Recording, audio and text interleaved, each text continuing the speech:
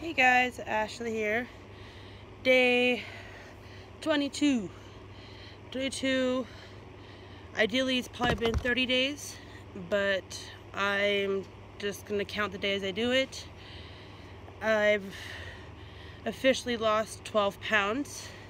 Now I'm floating around 163, 164. I'm fitting in clothes I haven't worn in years.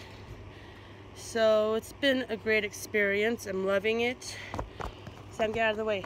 Get out of the way. Go. But I, just, my mat has made it so much easier for me. It rained though, so it got super muddy. So that was one thing I've been dealing with. But there's a washing machine.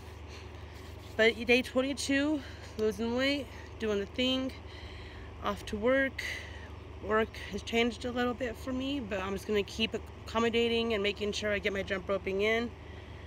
But I'm very thankful for everybody that's supporting me, very thankful for what's going on, and hoping for the best for people during this epidemic. And I pray for all the families that are dealing with this every which way. But I'm um, just hope to see you guys soon. Much love.